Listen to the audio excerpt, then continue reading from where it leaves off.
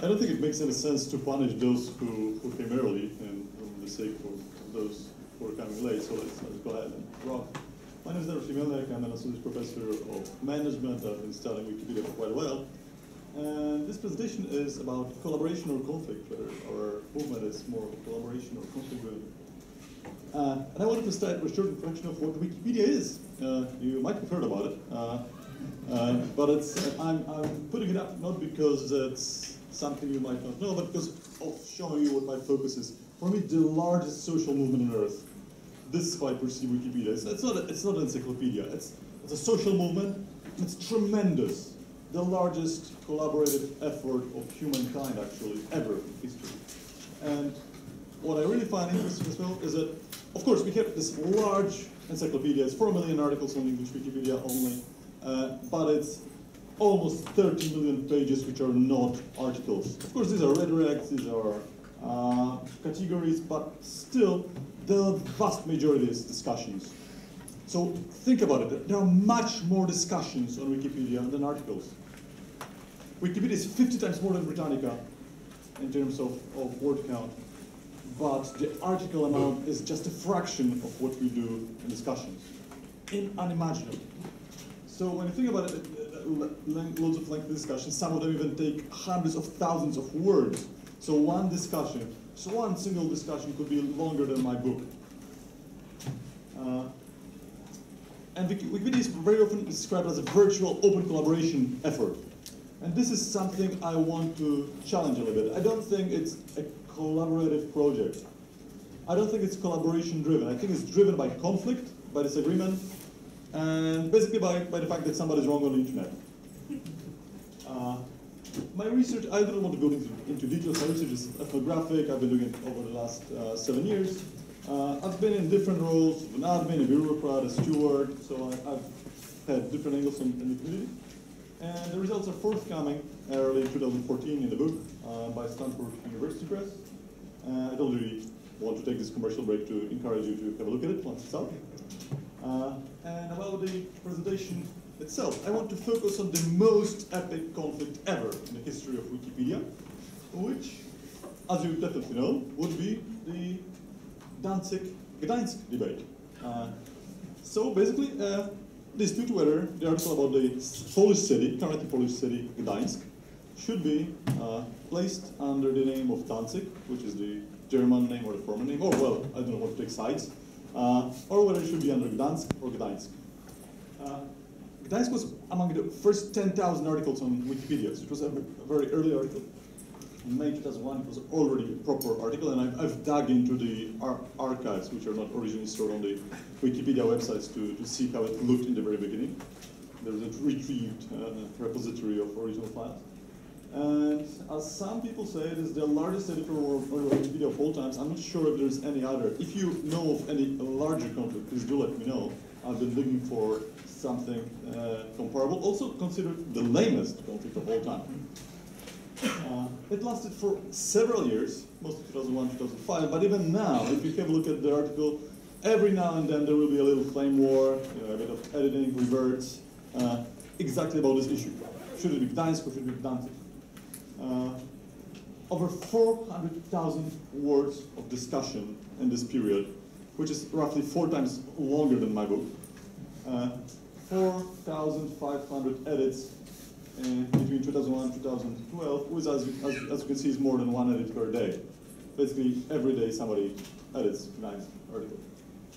And the, of course, the, the edit war went, as you all know, uh, everybody has to invoke Nazis at some point, right? The, we, know, we all know the law, uh, the law of Nazi analogies. So of course, in this particular context, of course, it was not that clear because Nazis were part of the city's history. So I'm not sure if the, if, uh, the Michael Snow's uh, law applies fully.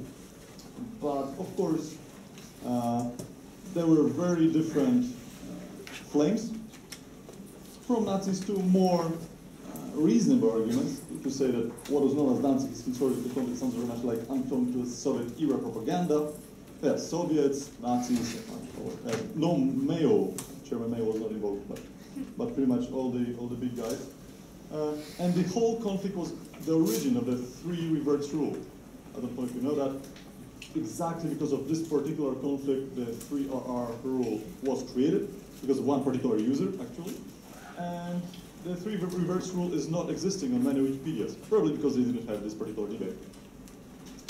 Uh, the conflict was going very, very slowly. Uh, well, slowly is not a very good word because edits were taking place every day, but the positions were rearranging very slowly.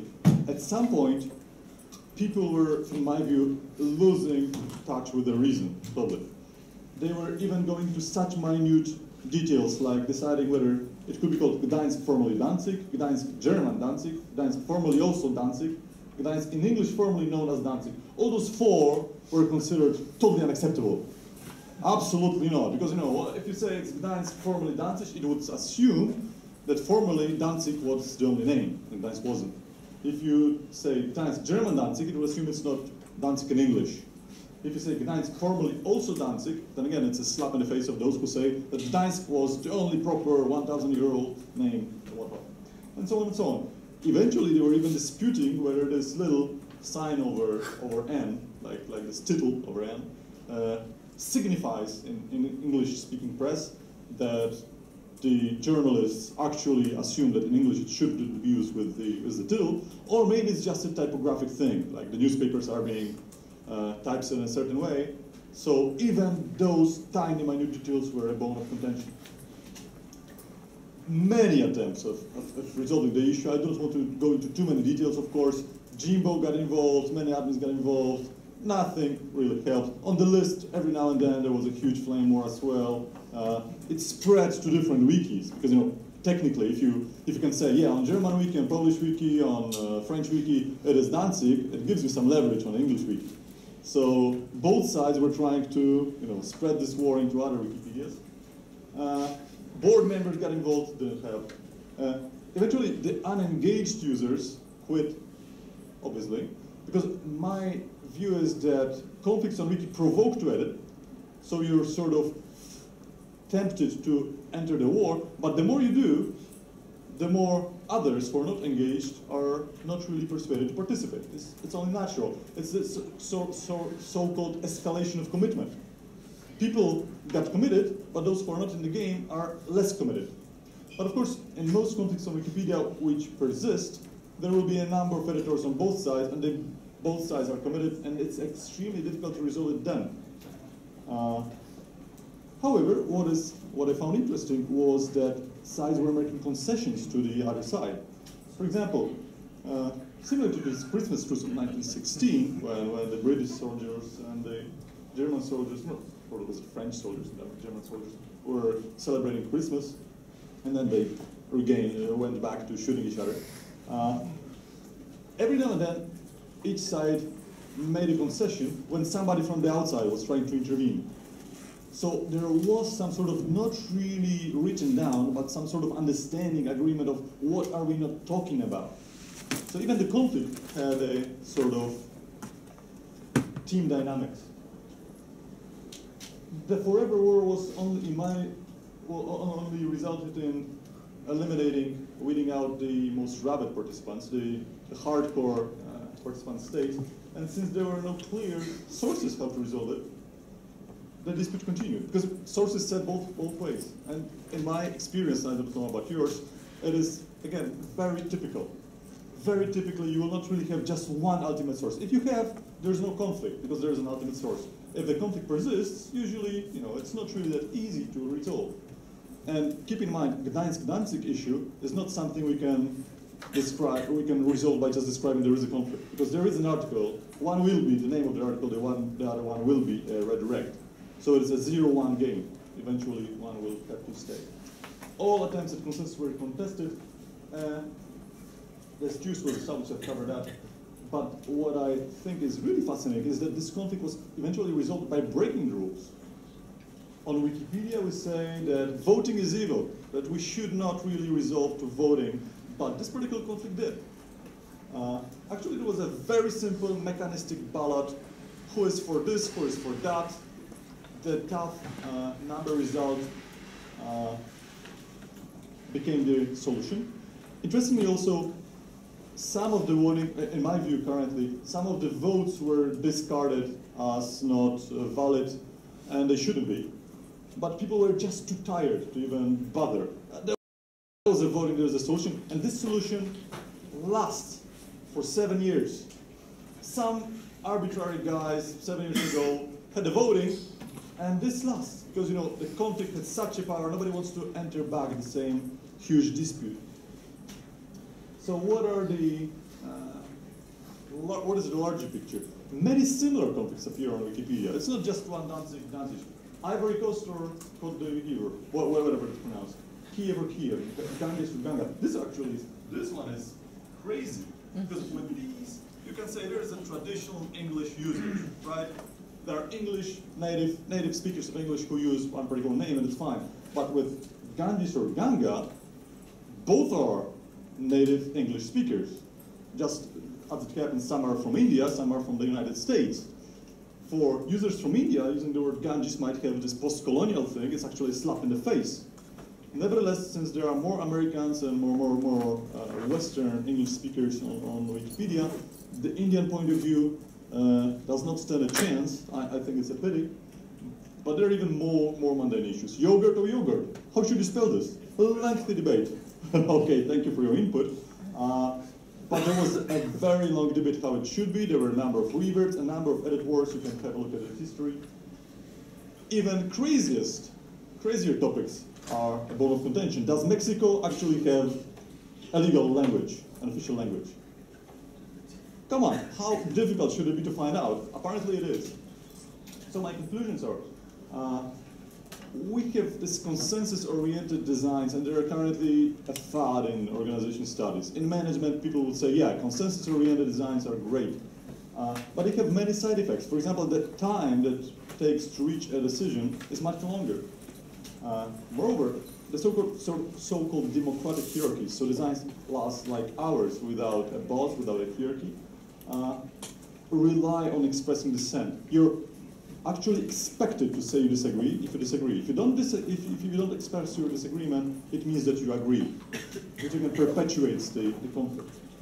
Also, the culture of negating, this, this culture of forcing you to, to disagree, uh, leads to the fact that if we negate leadership need, it only delegitimizes natural leaders. Because in all groups we have people who have more to say, who are more respected, but if we all say we don't need leaders and we repeat it all the time, those people will not be listened.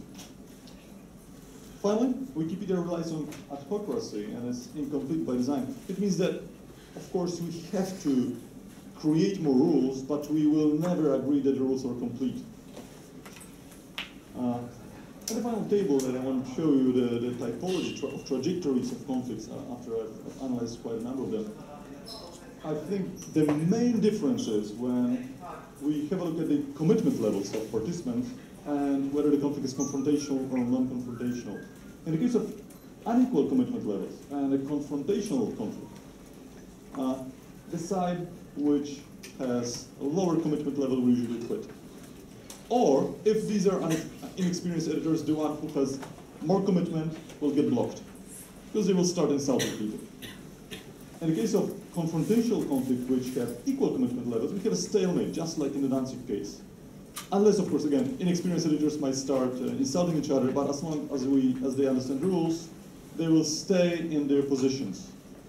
Uh, unequal commitment levels and non-confrontational situation would be a domination scenario. For example, if you throw uh, rules at somebody, somebody disagrees with you, so you edit five times a day, you give them, read this, read that, here's a source, here's another source. This will be, your, commit, your commitment is high, you're engaged. It's not really confrontational, but you will win by throwing too much information at them. And finally, equal commitment levels and non-confrontational approach, it will be collaborative, the one that is typically attributed to Wikipedia as the standard mode. My view is that we have a problem with the stalemate scenario. Uh, there, we do not really have ways to deal with that. And the problem is that uh, other organizations which use similar designs have resolved this. For example, SUE quite often refers to Quaker community. Uh, I also analyzed the so-called search conferences communities which rely on collaborative designs. In both these cases, there is a role of a facilitator of a conflict. And a facilitator is somebody not, who is not really an arbiter or a mediator, but somebody who just simply helps to facilitate arguments, uh, listens to both sides, has a technical role of listing arguments. And if we could have somebody like that, maybe this stalemate scenario would no, not go the way it typically goes now. And I'm open to questions or comments. Yeah, um, probably hear I was commenting. Um, but just back up everyone here, I, um, I did a presentation last year on history of resolution in general. Um, so it's a special one here. Um, so you mentioned that, um, there are a couple of issues, one being the stalemate, which I have in my time observed. Um, uh, one example was a dispute about, uh, the, whether to call, um, the abortion articles pro-life, pro-choice, or um, abortion rights or abortion um, opposition or something like that. Um, and the issue of articles that are influenced by outside opinions, so Israel Palestine, a lot of the ethnic um, are difficult to dispute, are difficult to resolve because it's not, oh, this politics you're wrong, this is my personal belief. Um, what sort of ideas do you have to break these sort of things? Because I do, I do acknowledge the fact that um, the more entrenched people get, the less likely they are, new editors are to get involved, and I've observed that in disputes I've tried to resolve. What ideas do you have, if any, um, for breaking these? Because I have a few myself which have started to work. Um, we had a large discussion on the abortion article rights, and that eventually and that's, um, what ideas do you have, if any, on how to break that? For starters, I think the abortion situation and the uh, Israeli-Palestinian conflict are totally different kinds of conflicts. With abortion, I I think it, I would assume it's easier to just describe the conflict as this. For example, to say some people call it pro-life, some people call it pro pro-choice, and to refer to the conflict itself. While with the Israeli-Palestinian conflict, it's not it's not so simple because it has to be It's addressed. more, for example, the titles of the articles, so Yeah, yeah. could we, um? Yeah, with, with the titles, it's al always a zero-one game. That, that's true. Uh, even even worse kind of scenarios when there are cultural differences, like with the legal legal rape article. Legal rape article was originally a description of an incident from American uh, politics, where where one politician said that if a female gets raped and if it's a legitimate rape, uh, the female body will have a way to shut it down. Uh, and again, I understand how this incident uh, may be uh, encyclopedic, but there was a legitimate uh, concern from editors from outside of the US that legitimate rape maybe should be an article about, for example, the medieval uh, ritual of, of the knight or a prince to have the, the, the right of the first night. And the concern was that one incident from American politics is probably not worth a separate article in place of this particular uh, historic uh, thing. But in, in all those cases when the namespace is involved, I think it, it is very tough. And as I said, um, for me, the, the, the way I look for inspirations from other democratic hierarchy designs, ultimate difference would be in facilitation. If there was an assigned facilitator for the conveying the discussion once the conflict enters the stalemate phase, because of course we do not need facilitators all the time, but once the conflict lasts, well, I don't know, some amount of uh, words or some amount of time, then a facilitator would be definitely helping. Um, yes, uh, I was wondering, you, you're talking about the role of facilitator, and um, I'm seeing a lot of analogies, if not a direct one-to-one correspondence, with what the mediator committee, the mediation committee on the English Wikipedia, at least, has tried to do. And, and I think that limited success is the best way to describe it. Um, most parties don't want mediation uh, because they're convinced they're obviously in the right. And even when there is a mediator involved, um, as soon as you get uncompromising positions on one side or the other, mediation necessarily fails. H- How do you see a way to make this work? Why Well- didn't the mediation committee work since they were facilitators? Two differences. I have some, uh, I'd like to talk to you about that later. Okay. Two major differences that come to my mind immediately. Uh, mediation is voluntary, always. Uh, facilitation doesn't have to be. It could be like part of the process. Second of all, mediation is mostly about uh, pacifying and sort of soothing the conflict rather than about reaching a meritocratic outcome. Mediation is not really about deciding what the right outcome should be. Mediation is about resolving the, the conflict between people. So these, these are the major differences, but I agree, of course, there are differences to other forms of dispute resolution, including even arbitration. And mediation could be formal, could be informal, you know, all, shades of green. But facilitation per se is a form in which there has to be a facilitator once their conflict reaches a certain phase, and the facilitator is interested mainly at sorting arguments out, for example. So there could be like templates, yeah, here we sort arguments pro, here we sort arguments against, and the facilitator would be in charge of that. So it seems to me that this is sort of almost actually a technical problem because the problem is that the page type has to be unique and therefore can only have one determination or have only one form. In Wikidata, that's sort of a bit more neutral because everything is just a number.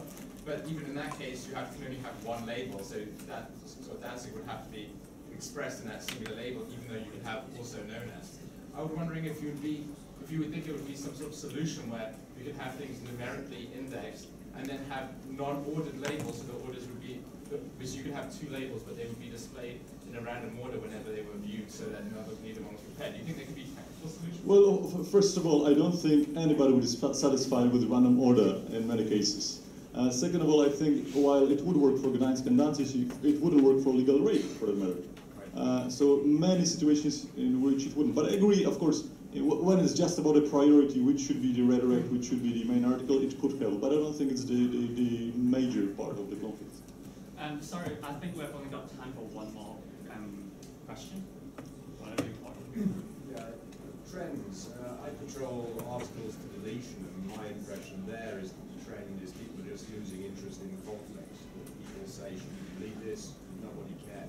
Do you, do you observe any global trends? Conflict is going up, down, or Well, a- again, I do not do a quantitative analysis of this sort across wikis. My experience is that on English Wikipedia specifically, people are, are largely uninterested because there's just too much to comment on. On Polish Wikipedia, for the matter, people do comment about deletion.